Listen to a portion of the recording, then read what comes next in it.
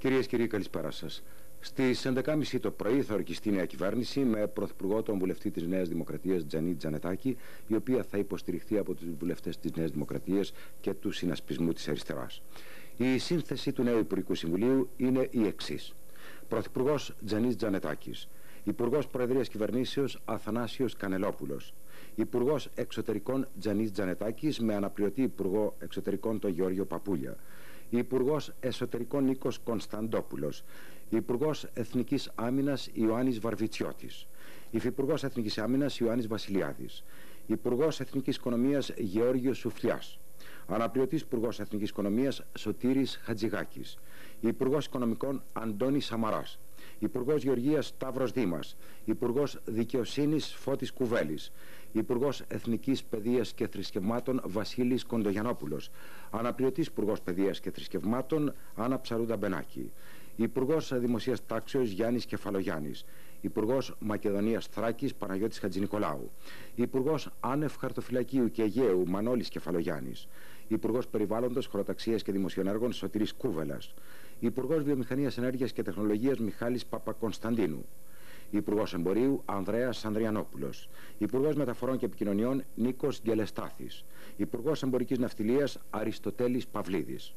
Μέχρι στιγμής δεν έχει ανακοινωθεί ποιοι αναλαμβάνουν τα Υπουργεία Εργασίας, Υγείας, Πρόνοιας και Πολιτισμού. Η δυνατότητα σχηματισμού κυβέρνησης διαπιστώθηκε κατά τη σημερινή σύσκεψη των ηγετών των τριών κομμάτων της Βουλής υπό την Προεδρία του Προεδρού της Δημοκρατίας. Ο κ. Τζανατάκης πήγε στις 7 το απόγευμα στο Προεδρικό Μέγαρο, όπου και το ανετέθη εντολή σχηματισμού κυβερνήσεως.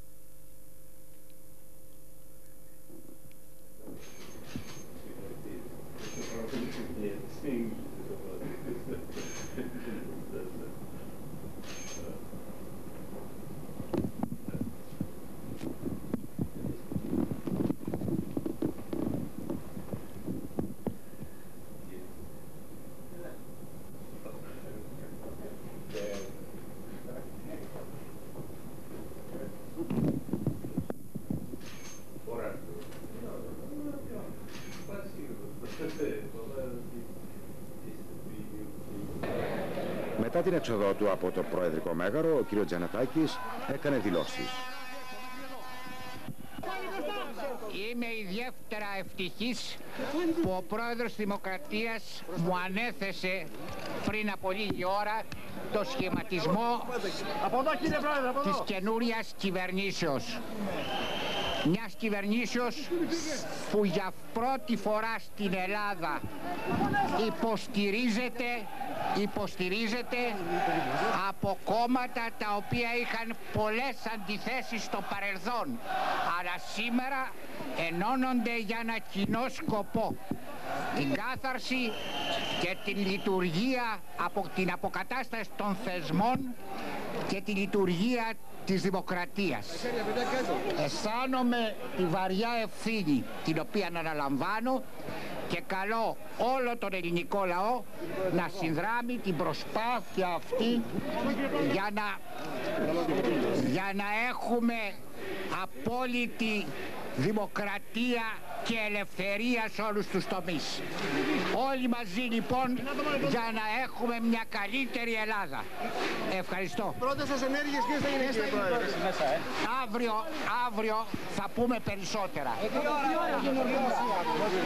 Αύριο θα πούμε περισσότερα. Η ορκομοσία θα γίνει στις 12. Θα είναι ευρείας αποδοχής η κυβέρνησή σας κύριε Τζανετάκη. Αύριο, αύριο.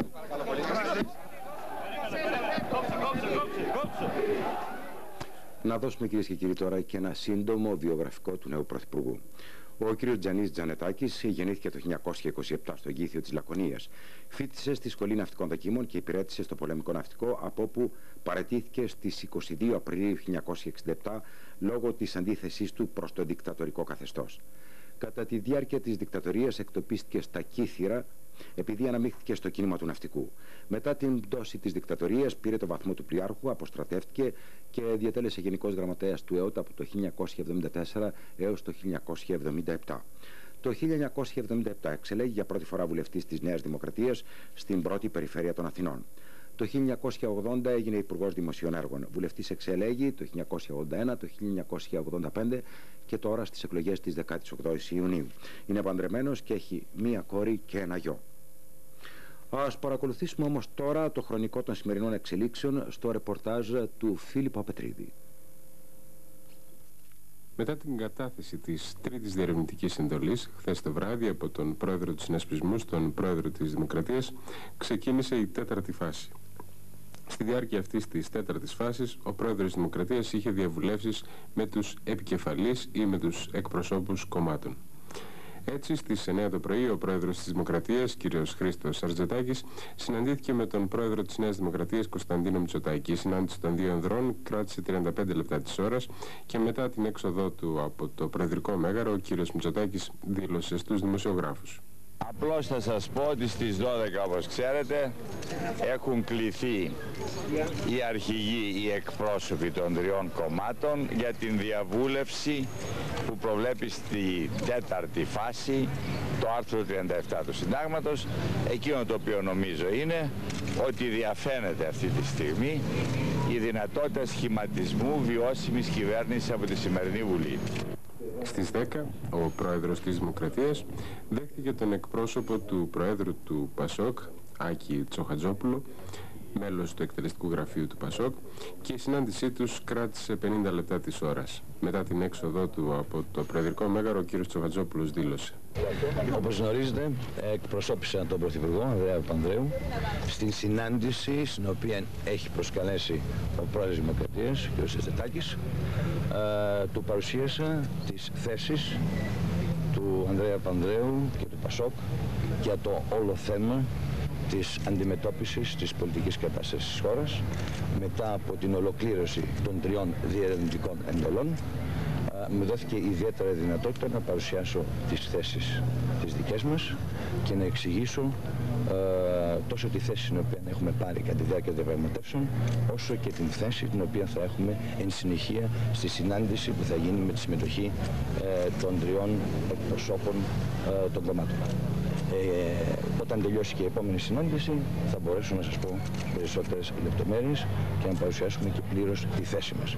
Στις 11 τον πρόεδρο της Δημοκρατίας επισκέφθηκε ο πρόεδρος του Συνασπισμού Χαρίλα Φλωράκης. Η συνάντηση των δύο ανδρών κράτησε 25 λεπτά μετά τη συνάντηση του κ. Φλωράκη με τον κ. Σαρτζετάκη. Ο πρόεδρος του Συνασπισμού, εξερχόμενος του Προεδρικού Μεγάρου, δήλωσε. Στο θα έρθουμε εδώ πέρα με πρόσκληση του Πρόεδρου της ε, Δημοκρατίας και εκεί θα πάρουμε θέση σχετικά με την υποψηφιότητα του κυρίου Τζανετάκη. Ορίστε. Τι το είπα του Πρόεδρου. Ακόμα δεν του είπα τίποτα. Πού; Όχι, ισχύει άλλο πράγμα. Μιλάνε τι είπα στον Πρόεδρο. Στον Πρόεδρο θα πω στις 12. Εν τω μεταξύ στις 10 το πρωί, ο πρόεδρος της Νέας Δημοκρατίας Κωνσταντίνος Μητσοτάκης, ο νέος πρωθυπουργός Τζανή Τζανετάκης, ο πρόεδρος του συνασπισμού Χαρίλα Σουλαράκη και ο γραμματέας του συνασπισμού Λεωνίδας Κύρκος είχαν συνάντηση στα γραφεία της Νέας Δημοκρατίας στη Βουλή. Αποχωρώντας από την συνάντηση, ο κ. Σουλαράκη, προκειμένου να πάει στο ραντεβού του με τον πρόεδρο της Δημοκρατίας, έκανε την ακόλουθη δήλωση τόσο από την χρονική διάρκεια της ε, κυβέρνησης που πρόκειται να συγκροτήσει ο κύριος Τζανετάκης όσο και το περιεχόμενο εμείς βρίσκουμε ότι καλύπτει βασικά την δική μας ε, επιδίωξη. Γιατί απευθύνεται σε όλες τις πολιτικές δυνάμεις είναι ανοιχτή θα έχει περιορισμένο χρόνο και συγκεκριμένο περιεχόμενο. Τρία-τέσσερα ζητήματα.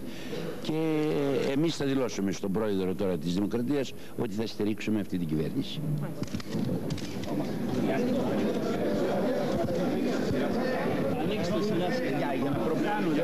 Θα υπάρξει συμμετοχή και άλλων δυνάμεων εκτός ελέγχη σας.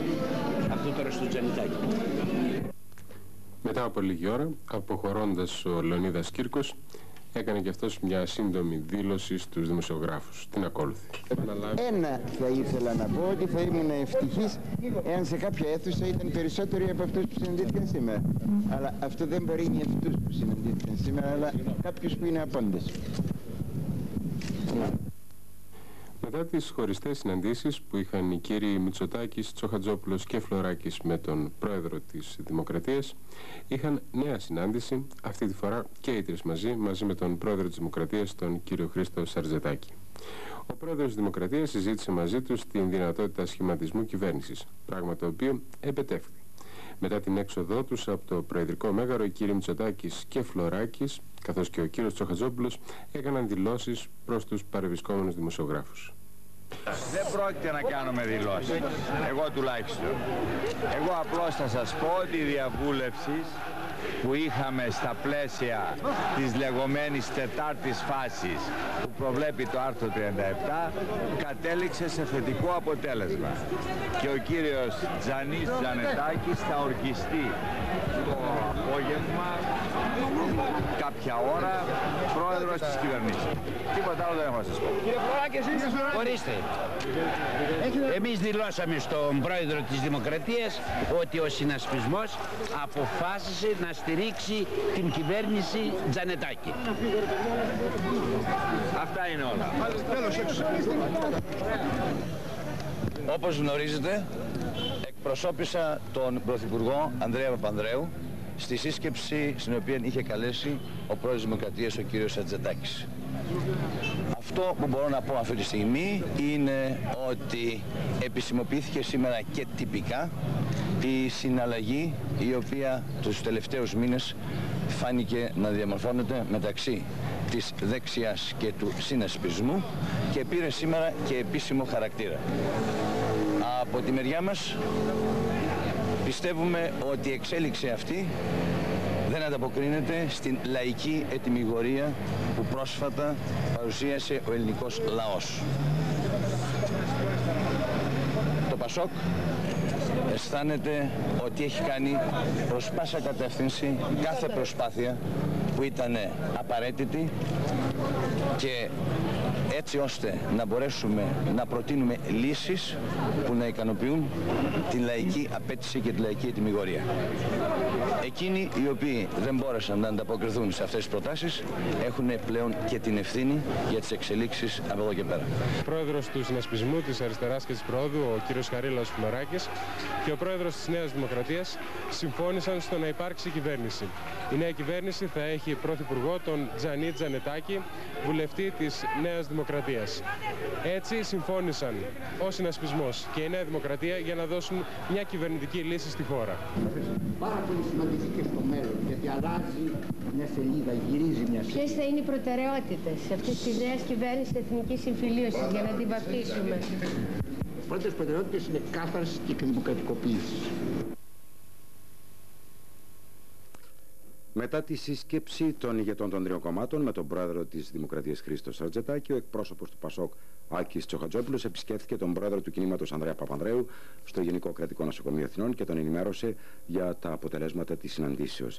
Αμέσως μετά, ο κ. Τσοχατζόπουλος διάβασε ανακοίνωση του πρόεδρου και του εκτελεστικού γραφείου του Πασόκ. Συνετελέστη μια πρωτοφανής συναλλαγή, χωρίς αρχές, ανάμεσα στις ηγεσίες της Νέας Δημοκρατίας και του συνασπισμού. Συντελέστηκε ταυτόχρονα ένας εμπεγμός του εκλογικού σώματος που παραχαράζει την λαϊκή επιταγή. Σήμερα αποκαλύφθηκε η συμπεγνία και το μέγεθος της αναξιοπιστίας και των δύο ηγεσιών.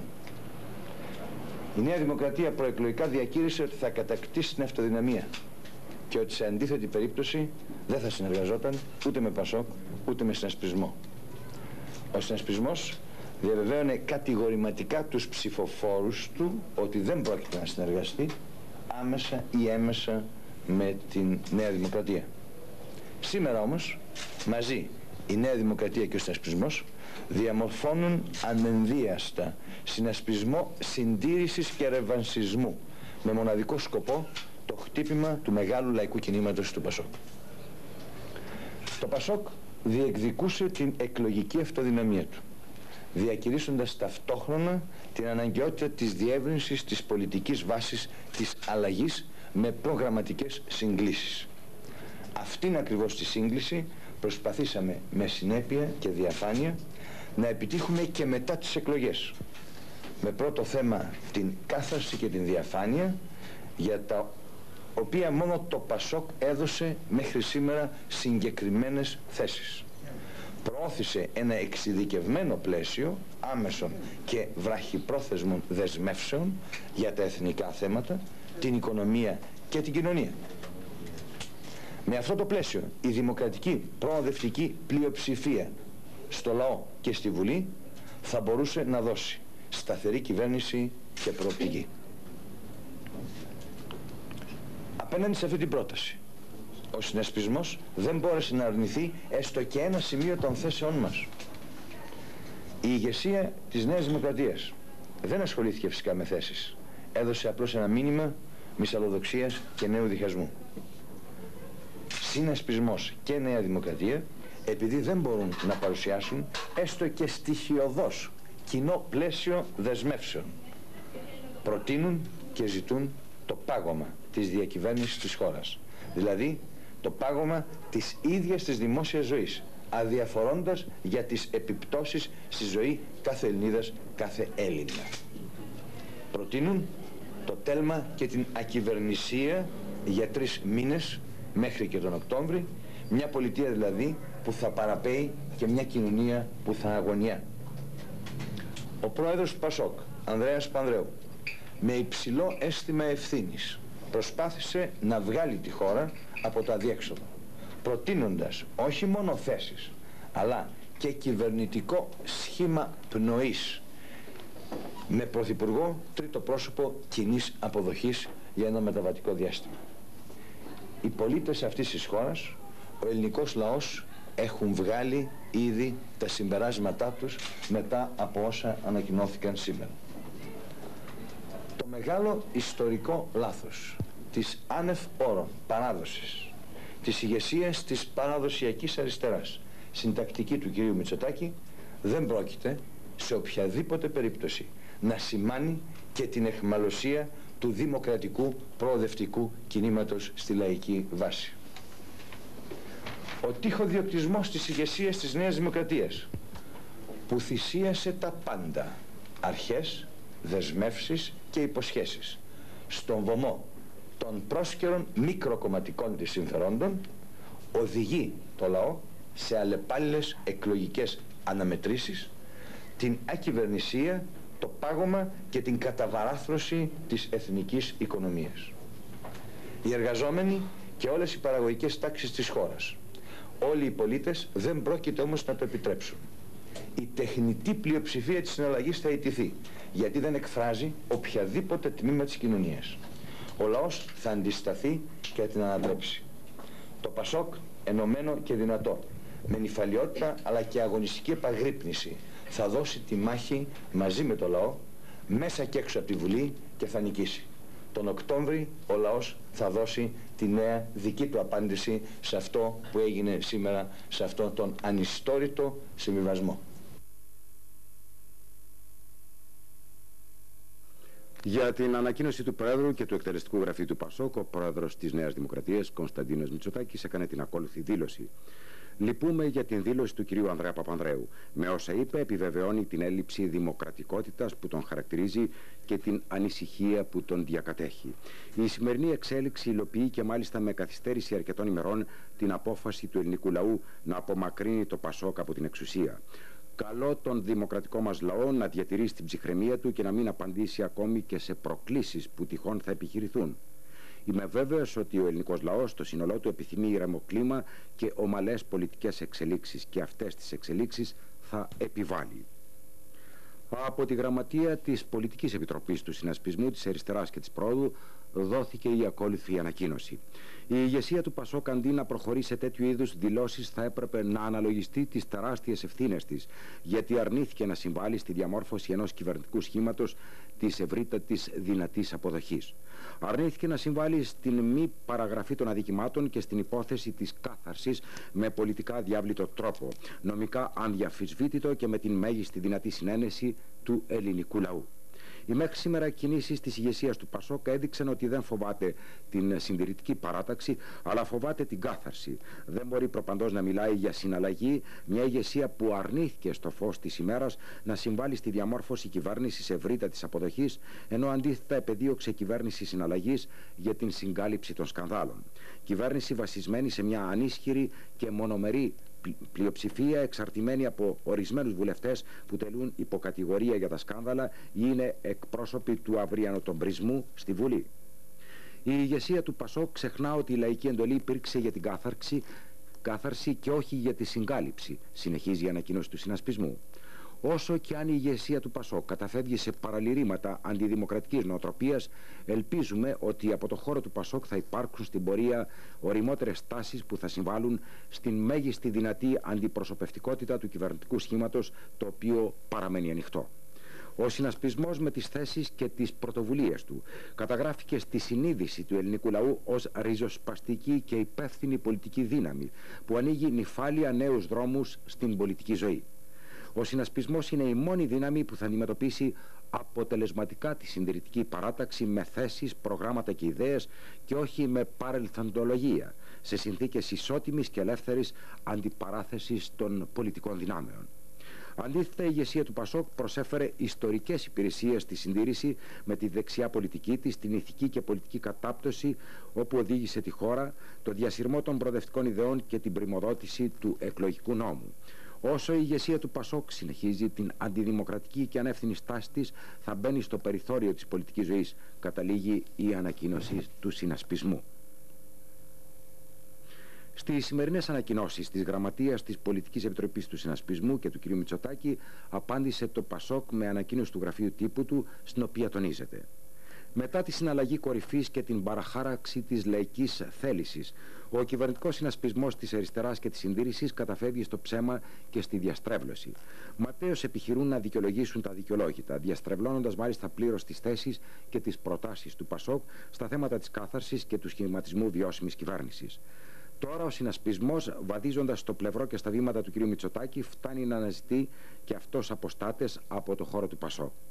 Α μην ψεύδονται, ας μην ελπίζουν και ας μην αυταπατώνται, συνεχίζει η ανακοίνωση του Πασόκ.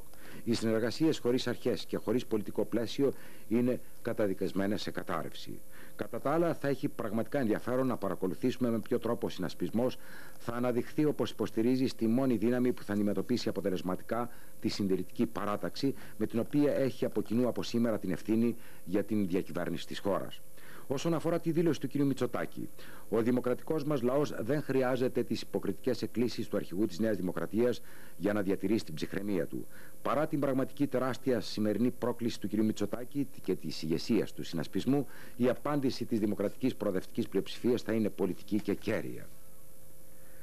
Σε ανακοίνωση του γραφείου τύπου του συνασπισμού αναφέρεται ότι ο συνασπισμός τάχθηκε υπέρ σχηματισμού κυβέρνησης όσο το δυνατόν ευρύτερης αποδοχής ανοιχτής σε όλες τις πολιτικές δυνάμεις της χώρας, η οποία με τα σημερινά δεδομένα είναι η μόνη ικανή να προωθήσει σε συγκεκριμένο χρονικό διάστημα την κάθαρση και την δημοκρατική λειτουργία των θεσμών, οδηγώντας στη συνέχεια τη χώρα σε αδιάβλητες εκλογές. Η εκκρεμότητα της κάθαρσης αναφέρει η ανακοίνωση και πολύ περισσότερο ο κίνδυνος παραγραφής των αδικημάτων δηλητηρίαζαν την πολιτική ζωή, παρέλυαν κάθε πολιτική δραστηριότητα και οδηγούσαν στη διάλυση του κοινωνικού ιστού, συμβάλλοντας στη λύση τώρα του κυβερνητικού προγράμματος, ο συνασπισμός προωθεί με τον πιο υπεύθυνο και δημοκρατικό τρόπο την άρση αυτής της εκκρεμότητας και την ομαλή πορεία της χώρας, που αποτελούν όρους για να επικεντρωθεί η πολιτική αντιπαράθεση στα μεγάλα προβλήματα του ελληνικού λαού και να δημιουργηθούν οι πολιτικές προϋποθέσεις για μια προοδευτική πορεία της χώρας. Σε δηλώσεις του για τη συμφωνία σχηματισμού κυβέρνησης, ο πρόεδρος της ΕΔΙΚ Γιάννης Ζήγδη είπε ότι του θυμίζει τη συμφωνία μεταξύ Κομμουνιστικού Κόμματος και Αντωνέσκου πριν από τον Δεύτερο Παγκόσμιο Πόλεμο στη Ρουμανία, όπου μόλις ανέλαβε την ηγεσία ο Αντωνέσκου, εστράφει κατά των συμμάχων του κομμουνιστών. Σε ανακοίνωσή του, το Κομμουνιστικό Κόμμα Ελλάδας Εσωτερικού Ανανεωτική Αριστερά εκφράζει την αντίθεσή του στο νέο κυβερνητικό σχήμα, υποστηρίζοντας ότι η συμμαχία αυτή θα λειτουργήσει ως καλοπάτι για την επιδίωξη της Νέας Δημοκρατίας να κατακτήσει την αυτοδυναμία στις επόμενες εκλογές. Ο πρόεδρος του Πασόκ, Ανδρέας Παπανδρέου, συγκάλεσε η Δευτέρα στις 9 το πρωί την κοινοβουλευτική ομάδα του κινήματος. Επίσης, τη Δευτέρα το απόγευμα θα συνεδριάσει η Κεντρική Επιτροπή του Κινήματος. Ο πρόεδρος της ΕΡΤ ΑΕ, Αντώνης Κοβέος, υπέβαλε σήμερα την παρέτησή του στον υφυπουργό τύπου Δημήτρη Γκλαβά. Επίσης, παρετήθηκαν ο Γενικός Διευθυντής της ΕΤ1 Σπύρος Γιανούζη και ο Διευθυντής του τομέα ενημέρωσης της ΕΤ2 Χριστόφορος Κονταξής. Στο στάδιο της αποθεραπείας βρίσκεται ο πρόεδρος του Πασόκ Ανδρέας Παπανδρέου. Σύμφωνα με το ιατρικό ανακοινωθέν, η υγεία του βελτιώθηκε και ο κ. Παπανδρέου δεν έχει πλέον κανένα ουσιαστικό πρόβλημα από το αναπνευστικό σύστημα, τους νεφρούς και την καρδιά. Και μια ματιά τώρα στα διεθνή γεγονότα.